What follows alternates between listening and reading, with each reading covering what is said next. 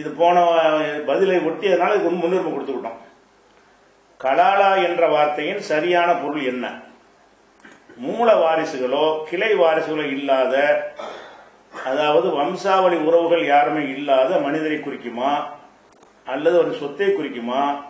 எனக்கு தெரிந்தவரை கலாலா என்பது மூல வாரிசுகளோ கிளை வாரிசுகளோ இல்லாத மனிதர் என்ற விளக்கம்தான் தப்சீர்களில் கொடுக்கப்பட்டு உள்ளது ஆனால் ஜான் பெஸ்ட் மொழிபெயர்ப்பில் தகப்பன் தாய் பாட்டன் பிள்ளை பேரன் ஆகிய வாரிசுகள் இல்லாத சொத்து என்று மொழிபெயர்க்கப்பட்டுள்ளது.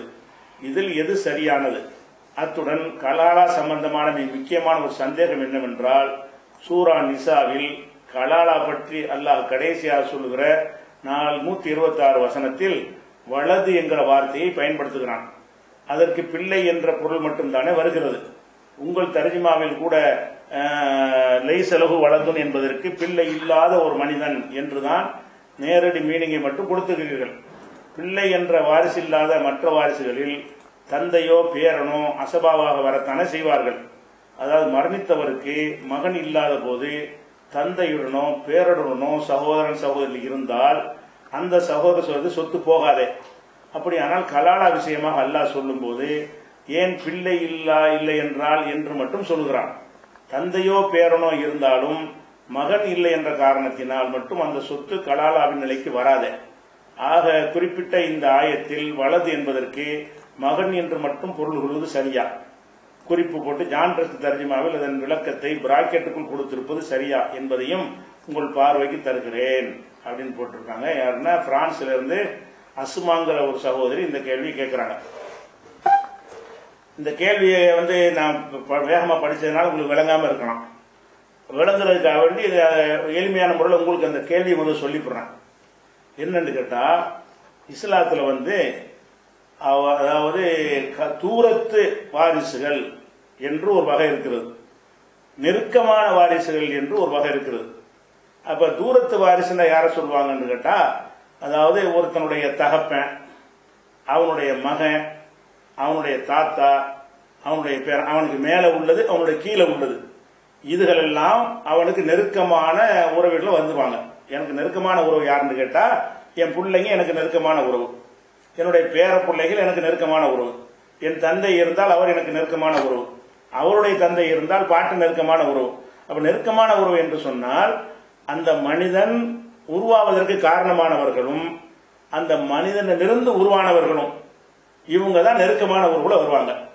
இது அல்லாதவர்கள் வந்து தூரமான உறவு இந்த கலாலா என்கிற சொல்லுக்கு வந்து தூரமான உறவுன்னு அர்த்தம். கல்ல என்று சொன்னால் தூரமானான் அப்படின்னு அர்த்தம்.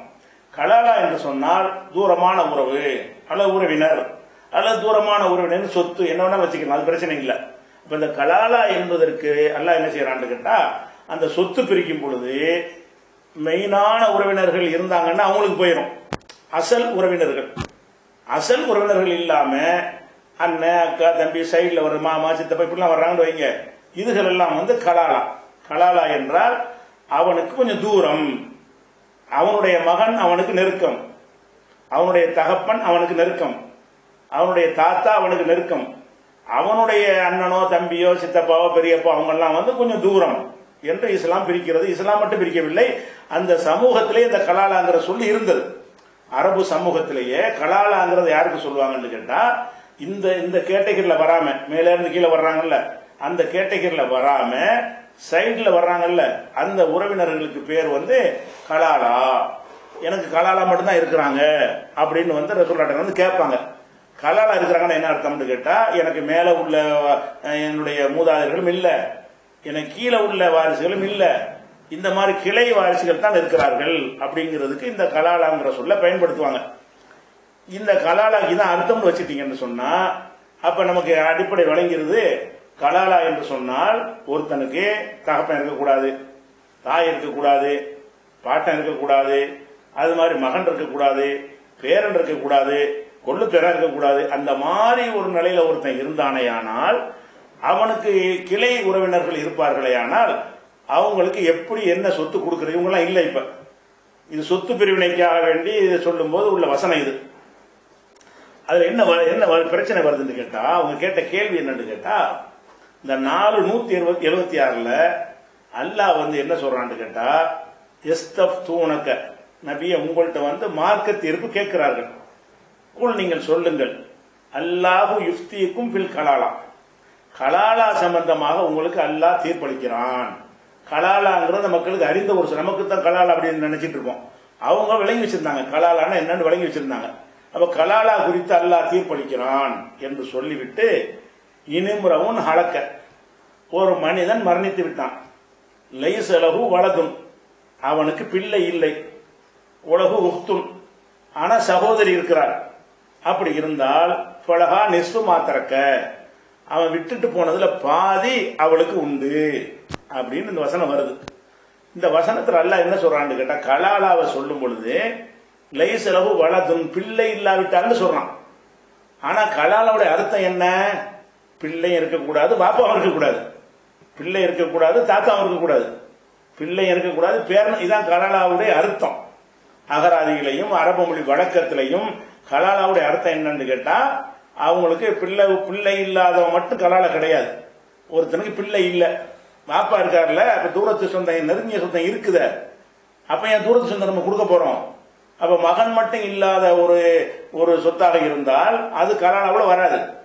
என்னவா இருக்குன்னு? மகன் இருக்கக்கூடாது தந்தை இருக்கக்கூடாது தாத்தா இருக்கக்கூடாது பேரன் இருக்கக்கூடாது அம்மா இருக்கக்கூடாது பாட்டி இருக்கக்கூடாது மகன் இருக்கக்கூடாது. இதெல்லாம் வந்துச்சுன்னா அவங்க வந்து அசல் உறவினர்கள். இந்த அசல் உறவினர்கள் இதை யாரும் இல்லாட்டி தான் அவன் கலாலாண்டு ஆகுவான் அப்ப இவ்வளவு இல்லாதவன் கலாலாண்டு இருக்கும்போது இந்த வசனத்துல என்ன சொல்லப்படுதுன்னு கேட்டா இனிமுறவும் ஹலக்க கேள்வி கலாலாவை பத்தி ஆரம்பிக்க இந்த வசனம். குலில்லாஹு யுக்திக்கும் கும்பில் கலாலா. கலாலாவை பற்றி தூரத்து உறவினரை பற்றி அல்லாஹ் உங்களுக்கு வந்து ஃபத்வா கொடுக்குறான். அப்படின்னு சொல்லிட்டு இனிமுறவும் ஹலக்க ஒருத்தன் ஹலாக் ஆயிட்டான் மூத்தா போயிட்டான். லைசலகு வழக்கும் அவனுக்கு பிள்ளை இல்லை. உலகு அவனுக்கு சகோதரி இருக்கிறாள். அவளுக்கு பாதியை கொடுங்கன்னு இந்த வசனம் இருக்குது. அப்ப இந்த கலாலாவுடைய விளக்கமா என்ன வருதுன்னு கேட்டா அவனுக்கு பிள்ளை இல்லைன்னு மட்டும் வருகிறது.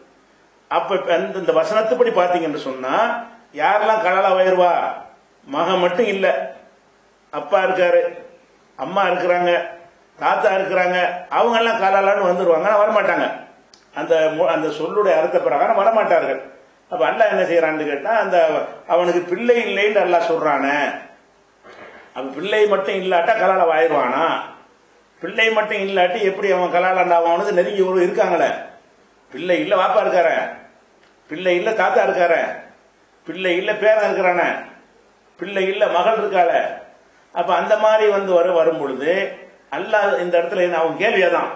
அதாவது பிள்ளை இல்லாவிட்டால் பிள்ளை இல்லாமல் சகோதரி இருந் சகோதரி மட்டும் இருந்தால் பாதிட்டு வருது. அப்ப இது வந்து அந்த அர்த்தம் வந்து பிள்ளையை மட்டும் குறிக்குமா? பிள்ளையை மட்டும் குறித்தால் அது கலாலாவுக்கு பொருத்தம் இல்லாமல் போகுது.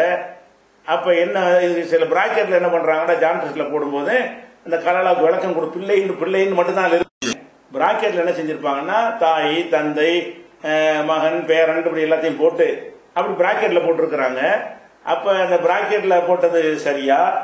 நீங்க இடத்துல பிள்ளை இல்லைன்னு மட்டும்தான் அந்த வாசம் அப்படி இருக்கிறதுனால. உங்களுடைய தமிழாக்கத்தில் வந்து லைசலவு வழக்கும். அவனுக்கு பிள்ளை இல்லைன்னு போட்டிருக்கிறீங்களே. அதுதான் அர்த்தமாக இருந்தால் கலாலாவை பற்றி தப்பாக சொல்லுகிறது இந்த வசனம் ஆகுத. அதுதான் அவங்களுடைய கேள்வி. கேள்வி தான் வளைக்கிறோம் கேள்வி என்னன்னு வளர்ந்ததுன்னா நாலு நூத்தி இருபத்தி ஆறு வசனத்தில் கலாலாவை பற்றி சொல்கிறான். கலாலாவுக்கு அர்த்தம் தூரத்து உறவினர்கள். தூரத்து உறவினர்களுக்கு அர்த்தம் என்னன்னு கேட்டா அவனை பெற்றெடுக்கவும் அவனால் பிறந்தவர்களும். அவனை பெற்றவர்கள் அவன் அவனால் பிறந்தவர்கள் தவிர மற்றவங்க கலாலா. இதுதான் அகராதிகளையும் எல்லா மொழி அந்த மொழி வல்லுநர்கள்ட்டையும் இருந்த ஒரு அர்த்தம். அந்த மக்கள்கிட்ட நடைமுறையில இருந்த ஒரு அர்த்தம். அப்படி இருக்கும் பொழுது இந்த இடத்துல அல்லாஹ் வந்து ப- வலதை மட்டும் சொல்றான். வலது என்றால் இப்ப புள்ளைய மட்டும் தானே குறிக்கும். அவங்க அப்ப என்ன அர்த்தம்? புண்ணை மட்டும் இல்லாட்டி அவன் காலான்னு சொல்லலாமா அப்படின்னு கேட்கிறாங்க அது போக இந்த அர்த்தம் சரியில்லை என்பதற்கு ஏற்றவாறு சில வாதங்களை சொல்றாங்க. எப்படி சொல்றாங்கன்னு கேட்டா இப்ப உதாரணமா ஒருத்தன் இறந்துட்டான் புள்ள இல்ல. இறந்தவனுக்கு புள்ள இல்ல. தகப்பனார் இருக்காரு. தகப்பனார் இருந்தாருன்னு சொன்னா சகோதரி கிடைக்குமா? கிடைக்காது. அப்ப சகோதரிக்கு க- பாதினுங்க வருது. அப்ப சகோதரிக்கு பாதின்னு வந்தாலே எப்பதான் அது கிடைக்கும்? தகப்பன் இல்லாம இருந்தா தான் கிடைக்கும். அப்படி இருக்கக்கூடிய நேரத்தில் அதையெல்லாம் வச்சு பார்க்க பார்த்தோம் என்று சொன்னா இந்த கலாலாவுக்கு அல்லாஹ் சொல்லக்கூடிய ஒரு விளக்கம் வந்து பிள்ளையும் தாய் தந்தையும் இல்லாதவர்களை குறிக்கும் பொழுது இது பிள்ளைய மட்டும் இது சொல்லுகிறது என்று அதுதான் சந்- அடிப்படையான ஒரு சந்தேகம். இதுல வந்து இதுக்கு இந்த அதிசை இந்த வசனத்தை பொறுத்த வரைக்கும் இது இது அப்படி வச்சுக்கிறங்க இந்த அதிச வசனத்தை பொறுத்த வரைக்கும் அபுபக்கர் சித்திக்கில் இருந்து இந்த வசனத்தில் அப்படிதான் நேரடியா இருக்குது. ஆனால் அபுபக்கர் உமரு பெரிய பெரிய Ali Ali ரலிலானவர்கள் Masood Ibn Abbas Zaid Thabit Shobi நகை ஹசன் பசரி கத்தாதா ஜாபிர் இப்னு ஜா ஜெயிது ஹக்கமு மதீனாவாசிகள் கூஃபாவாசிகள் பதராவா பஸ்ராவாசிகள் நாலு இமாம்கள் ஏழு ஃபுக்கஹாக்கள் ஏழு சட்ட அறிஞர்கள் செலவுகளில் உள்ள பெரும்பாலானவர்கள் பின்னால் வந்த மக்களில் பெரும்பாலானவர் பெரும்பாலான ஜமீகம் அனைவருடைய கருத்து இன்னும் சொல்ல போனா இது ஏகோபித்த கருத்து. என்னவென்றால் பிள்ளையும் பெற்றோரும் இல்லாதவர்கள் கலாலா என்று எல்லாரும் ஏகோபித்த கருத்தில் இருக்கிறாங்க. ஆனா வசனத்தில் அப்படி இல்லை. அந்த வசனத்தில் இருப்பது பிள்ளை இல்லாவிட்டால் பிள்ளை இல்லாமல் சகோதரி இருந்தால் தான் வருது. இந்த வசனத்தை அறிந்து கொண்ட சகாபாக்கள் என்ன செய்யறாங்க? அபுபக்கர்ல உமர்ல இருந்து எல்லாருமே என்ன செய்யறாங்க? அது கலாலா என்று சொன்னால் பிள்ளை இல்லாமல் இருந்தா மட்டும் ஒருத்தன் கலாலா கிடையாது. பிள்ளையும் இல்லாமல் பெற்றோரும் இல்லாமல் இருந்தா தான் அவன் என்னவாவான்? கலாலாவா ஆகுவான்னு சொல்ற கருத்தை இந்த வசனத்தைக்கு விளக்கம் சொல்லும் போதே அவங்க என்ன செய்யறாங்க அல் கலாலத்து மல்லா வலதளவு வலா வாலித. யாருக்கு வந்து வலதும் இல்லையோ? அபுபக்க சித்திக்கு சொன்னது யாருக்கு பிள்ளை இல்லையோ தந்தை இல்லையோ? அவங்க தான் கலாலா. அந்த வசனத்துல பிள்ளை மட்டும் தான் இருக்குது. இதுதான் விஷயம். அப்ப அது மாத்திரம் இல்லாம இது அல்லாம அபு மன்சூர் லோகவி அந்த லோகத்துல வந்து மொழிக்கு அர்த்தம் செய்வாங்க அகராதி அதுல திறமையானவர் யாருன்னு கேட்டா அபு மன்சூர்ங்கிறவர். அவர் இப்னு அரப்பாங்கிறவர். அபு உபைதுங்கிற அவரும் அந்த மொழி மொழி வல்லுநர்ல முக்கியமான ஆளு. இப்னுல் அம்பாரிங்கிறவங்க இவங்கெல்லாம் என்ன செய்யறாங்கன்னு கேட்டா இதே தான் சொல்றாங்க. எப்படி?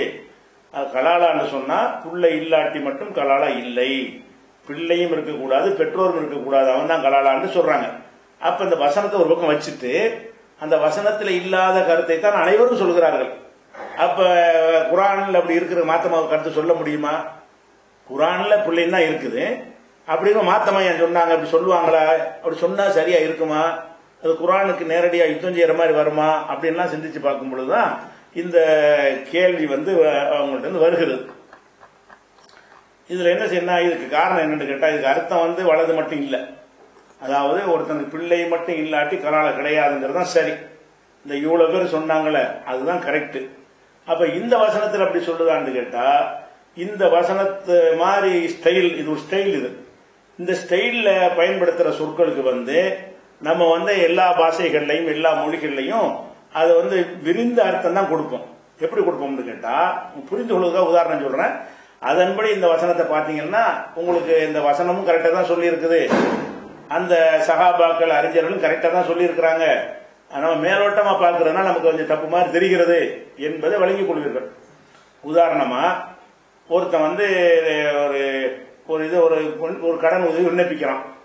அதில் ஒரு கல்லூரியில் சேர போறான். சேரும் பொழுது அதுக்கு என்னென்ன என்னென்னலாம் வரேன் ஆதார் அவன் அவன் நிரூபிக்கிறதுக்கு ஆதார் அட்டை வச்சிருப்பான். ரேஷன் கார்டு வச்சிருப்பான். அது மாதிரி வாக்காளர்கிட்ட வச்சுருப்பான் வச்சிருப்பான். டிரைவிங் லைசன்ஸ் கூட அது ஒரு வச்சிருப்பான். பேங்க் அக்கவுண்ட்ல அது ஒன்று வச்சிருப்பான். அல்ல போஸ்ட் ஆஃபீஸில் போய் அட்ரஸ் ப்ரூஃப் ஒன்று கொடுப்பாங்கல்ல பணம் கட்டினா இந்த அட்ரஸுக்கு அதுக்கு ஒரு ப்ரூஃப் கார்டு கொடுப்பாங்க. அட்ரஸ் ப்ரூஃப் கார்டு வச்சிருப்பான். இப்படி பலவித ஆவணங்கள் ஒரு மனுஷன்ட்ட அவன் அவன் தான் காட்டுவதற்கு. நான் தான் அந்த ஆளு என்று காட்டுவதற்கு என்ன செய்யலாம்? இந்த இவ்வளவு ஆவணங்களை ஒருத்தன் வச்சிருக்கிறான். அப்படி வச்சிருக்கும் பொழுது அப்ப என்ன செய்யறாங்கன்னு நம்ம பேச பேச்சு வழக்கு என்ன செய்வோம்னு கேட்டா இவன்கிட்ட ஆதார் இல்லை. டிரைவிங் லைசன்ஸ் தான் இருக்குது. அப்படின்னு சொல்றோம். இவன் ஆதார் இல்லைன்னு மட்டும் சொன்னா மற்ற அஞ்சு இருக்குன்னு அர்த்தம். அதாவது ஆதார் இல்லை ஆதார் கார்டு இல்லை அப்படின்னு மட்டும் சொன்னா ஓ ஆதார் இல்லை அப்ப ரேஷன் கார்டு இருக்குது. அதுக்கப்புறம் வந்து டிரைவிங் லைசன்ஸ் இருக்குது அப்புறம் பேங்க் அக்கௌண்ட் இருக்கிறது ஓட்டர் ஐடி இருக்குதுன்னு அப்படி அர்த்தம் வந்துடும் அப்படி சொல்லாம ஒரு இருக்குங்கிறதையும் சொல்லி இல்லைங்கிறதையும் சொல்றான். எப்படி சொல்றான்? ஆதார் தான் இருக்குது. ஆதார் என்கிட்ட இல்ல. பேங்க் அக்கௌண்ட் தான் இருக்குது. அப்படின்றான என்ன அர்த்தம்? இப்படி சேர்த்து சொன்னான்னு சொன்னா இது இந்த எதுவுமே இல்லைன்னு அர்த்தம். இது ஒண்ணுதான் இருக்குன்னு அர்த்தம். அதான் என்கிட்ட ஆதாரு இல்ல. ஆதார் இல்லைன்னு சொன்னா நாலு இருக்குது. அதுவும் அவன்கிட்ட இல்ல. அதை எந்த ஸ்டைல் அவன் சொல்றான்னு கேட்டா நம்ம கிட்ட ஆதார் இல்ல. அதே நேரத்தில் பேங்க் அக்கௌண்ட் தான் இருக்குது. அப்படிங்கிறான். அப்ப பேங்க் அக்கௌண்ட் தான் இருக்குன்னு அவன் சொன்னானே ஆனால் அப்ப மற்ற நாள் இல்லைன்னு தான் அர்த்தம்? அந்த சொல் இந்த சொல் வழக்கம் நம்ம எல்லாத்தையுமே இருக்கிறது. எல்லா பாஷையிலும் இருக்கிறது. இதுல வலது இல்லைன்னு மட்டும் அல்ல சொல்லல. வலது இல்ல சகோதரி மட்டும் தான் இருக்கிறான். அப்ப சகோதரி மட்டும்தான் இருக்கான்னு சொல்லும்போது என்ன வந்துருதுன்னா தகப்பன் இல்ல அம்மா தாய் இல்ல பேரன் இல்ல அடங்கிருது. அப்ப ஒன்றை இல்லைன்னு சொல்லும் பொழுது எது இருக்குன்னு சொல்றாங்க பாருங்க. அதுல வந்து மிச்சத்தை எல்லாம் சொல்லாம அதுல ஒண்ணு ஒண்ணு சொன்னாங்கன்னு சொன்னா அப்ப என்ன விளைவிக்கிற ரெண்டை இணைச்சி பாத்தீங்கன்னா சகோதரி இருக்கிறாள் வேற யார்? வலது வந்து சும்மா சொல்லப்பட்டிருக்கு. வலதும் இல்ல யாரும் இல்ல. அதான் அர்த்தம். சகோதரி தான் இருக்கிறான். அப்படி சொன்னோம்னா அந்த சகோதரி இருக்கிறாளுங்கிற அந்த சொல்லை வைத்து இந்த சகோதரியை தவிர மற்ற மேல உள்ள அசல் ஆட்கள் யாருமே இல்லை என்று விளங்கி கொள்வோம். ஒரு வீட்டில் வந்து என்ன இருக்குது சோறு இருக்குது குழம்பு இருக்குது அது மாதிரி ரசம் இருக்குது ஊறுகாய் இருக்கிறது ஆம்லெட் போட்டு வச்சிருக்கிறீங்க இப்படிலாம் பல பொருள்கள் இருக்கிறது. ஒருத்தன் வந்து கேட்குறான் மட்டும் சோறுலாம் இல்லை ரசம் தான் இருக்குது. அப்படின்னு என்ன அர்த்தம்? ரசம் மட்டும்தான் இருக்குன்னா சோறு மட்டும் இல்லைன்னு அர்த்தம் கிடையாது மற்ற அர்த்தம் கிடையாது. ரசம் தான் இருக்குன்னு என்ன அர்த்தம். அது இருக்குது மற்றது இல்லை.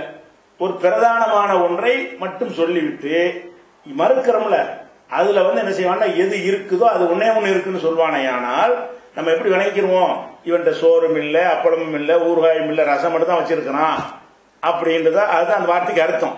சோறுலாம் இல்லை ரசம் இருக்கு வேணுமா? அப்படின்னு என்ன ரசம் மட்டும் தான் இருக்குன்னு அர்த்தம். அப்ப ஒரு சோறு மட்டும் சோறத்தான சொன்னா சோறத்தான் சொன்னான். இது மனித பேச்சுக்கள்ல உள்ளது. இது அரபு மொழி பேச்சுக்கு உள்ளது மட்டும் இல்லை. எந்த ஒரு பாஷையிலையும் பல பொருள்கள் ஒருத்தன் இல்லாம இருக்கும் பொழுது ஒண்ணு இல்லைன்னு சொல்லிட்டு இருக்கிறத ஒன்னே ஒண்ணு சொன்னானே ஆனால் அந்த ரெண்டு கோர்த்து பார்க்கணும். அதனுடைய அர்த்தம் என்ன? அப்படிலாம் அர்த்தம் இருக்க போய் தான் எல்லா சாபங்களும் விளங்குறாங்க அதை. அந்த மாதிரி அர்த்தம் இல்லாட்டி அந்த வார்த்தைக்கு அர்த்தம் அப்படி நேரடிய வார்த்தத்துக்கு நம்ம மேலோட்டமா வழங்குறோம்ல மொழி வழக்கம் தெரியாம. அப்படி இருக்கும் என்று சொன்னால் இல்ல கலாலான்னு நல்லா சொல்லிவிட்டான். உள்ள இல்லாட்டி தான் கலாலா. தகப்பன் இருந்தால் அவன் கலாலாண்டு அப்படி அப்படி அர்த்தம் செஞ்சுட்டு போயிருப்பார்கள். ஏன் செய்யல என்று கேட்டா அந்த சொல்லுல அல்ல பயன்படுத்தினது இந்த ஸ்டைல்ல எப்படி சொல்றான்? இனிமுறவன் ஹலக்க ஒருத்தன் இறந்துட்டான். லை லைசலகு வளதும் உலகு துன் அவனுக்கு புள்ள இல்ல சகோதரி இருக்கிறான் சேர்த்து சொல்றான். புள்ள கிடையாது சகோதரி தான் இருக்கிறான். அப்ப சகோதரி இருக்கிறாள்ங்கிற வைத்து விளங்கணும்னு கேட்டா புள்ளையும் இல்லை வேற எவரும் இல்லை. ஏன்னா சகோதரி மட்டும் இல்லாட்டி என்ன செய்யணும் உலகு அவர் சகோதரி இருக்கிறாள் அப்பா இருக்கிறான்னு சேர்த்து சொல்லியிருக்கணும். அப்ப சகோதரி மட்டும் சொல்லப்படாத என்ன அர்த்தம்? இந்த சகோதரி இருக்கிற வேற ஆளுக்கு இல்லைன்ற அர்த்தம். இது வந்து நேரடியாக இந்த அந்த மொழியுடைய பழக்கம் தெரியாதவர்கள் பார்க்கும் பொழுது புள்ள இல்லாட்டி கலால் அப்படின்னு விளங்கிடுவாங்க அது யாருக்குன்னு கேட்டால் இந்த மாதிரி மொழியில பரிச்சயம் இல்லாத ஆட்கள். இந்த மாதிரி சொற்களை எப்படி பயன்படுத்துவார்கள் அரபு இலக்கியங்களை எல்லாம் அறிந்தவர்களாக இருப்பார்களே ஆனால் அவர்கள் என்ன வழங்குவார்கள்னா இது உலகத்தில் எல்லாரும் சொல்றதுனா பத்து பொருள் ஒருத்தன் இல்லாம இருந்து ஒன்னே ஒன்று இருக்கும். அந்த பத்தை இல்லைன்னு அவன் சொல்ல மாட்டான். என்ன செய்வான்? பத்து பொருள் அவன்கிட்ட இல்லாம இருக்கும். ஒன்பது இல்ல ஒன்னு இருக்குன்னு சொல்ல மாட்டான். ரொம்ப அரிதாக தான் அப்படி பேசுவாங்க. பத்து பொருள்ல வந்து ஒன்று தான் அவன்கிட்ட இருக்குது. ஒன்பது இல்ல. அப்படி அப்ப என்ன சொல்லுவான்னு கேட்டா அந்த பத்து பொருள்ல ஒரு முக்கியமான ஒரு பொருளை குறிப்பிட்டுக்கிறோம் பேனா பென்சிலு சாக் பீஸ் இப்படி பல விஷயங்கள் எழுதுகிற பொருள்கள் இருக்கு. பால் பெண்ணு இப்படிங்கிற ஸ்கெட்ச் பெண்ணு பல வகை இருக்குது. அவன் என்ன சொல்றான்னு கேட்டா என்கிட்ட வந்து பேனா இல்ல. ஸ்கெட்ச் பண்ணு தான் இருக்குது. அப்படின்னு என்ன அர்த்தம்? இந்த பேனா இல்லைங்கிறது கவனிக்க கூடாது நீங்க ஸ்கெட்ச் பண்ண தவிர மற்ற எதுவும் இல்லைன்னு அர்த்தம். பேனா இல்லைங்கிற சொல் மூலமாக எதை நாடுகிறான் என்று சொன்னால் எதை நாடுறான்னு வகையை வச்சு கேட்கக்கூடாது அந்த இடத்துல அதை பயன்படுத்தணும் நம்ம. வகி வர வேண்டிய தேவையில்லை. ஒரு சொல்லை என்ன கருத்தில் நம்ம பயன்படுத்துகிறோம் என்பதை விளங்கி கொண்டோம் என்று சொன்னா ஓ இந்த இப்படிதான் நம்மளும் பேசுறோம். நம்மளும் அப்படி பேசுறோமே. எல்லாரும் பேசுறானே எல்லா பாஷையிலும் பேசுறானே அந்த மொழியில அப்படி இருக்குத அந்த குரான் வந்து அந்த மொழியில உள்ளவர்களுடைய வழக்கம் எப்படி? அப்படித்தான் குரான் வந்திருக்குது. அல்லாவா ஒரு பாஷையை உண்டாக்கிய குரானை இறக்கணும் அப்படி இறக்கணும் மக்களுக்கு புரிஞ்சிருக்காது. அந்த மக்கள் எந்த பாஷையை அறிந்து வைத்திருந்தார்களோ பேசினார்களோ அவங்க பாஷையில் அது இறங்கினதுனால அவங்களுக்கு இதை சொன்னா விளங்கிக்கிறது கரெக்டா அந்த மொழியை அறிந்த மக்களுக்கு என்ன விளங்கிறோம்னு கேட்டா பிள்ளை இல்லை சகோதரி இருக்கிறாருன்னா என்ன அர்த்தம்? மற்ற ஆட்கள் இருக்கிறேன் சொல்லல. சகோதரியை தவிர யாரும் இல்லைன்னு அர்த்தம். அதனால நீங்க வந்து அந்த நீ மேலோட்டமா பார்த்தால் உங்க கேள்விக்கு இடம் இருக்கிறது ஆனால் இது மாதிரியான சொற்பிரயோகங்களை நாம என்ன மாதிரி பயன்படுத்துகிறோம்? உலக நாடுகள்ல எல்லாம் என்ன மாதிரி எந்த பாஷையில இருந்தாலும் சரி இந்த ஸ்டைல்ல பயன்படுத்துறோமா இல்லையா? ஏன்னா இலக்கியம்னு சொன்னா எல்லா பாஷைக்கும் ஒரே மாதிரி தான் இருக்கும். ஒன்று சின்ன வித்தியாசம் தான் இருக்கும். இப்படி ஒரு மொழியில பயன்படுத்துறான்னு சொன்னா அதே மாதிரி எல்லா பாஷையிலும் பயன்படுத்துவாங்க. சின்ன சின்ன வேறுபாடு தான் இருக்கும். அதனால வந்து எல்லா மொழியும் உனக்கு தெரியுமான்னு கேட்கக்கூடாது. இந்த ஸ்டைலில் பார்த்தீங்கன்னா தேடி பார்த்தா அப்படியான சொல் பிரயோகங்கள் இருக்கும். இதே மாதிரி சொல்லி பார்த்தீங்கன்னா அந்த அர்த்தம் தான் அவங்க கொடுப்பாங்க.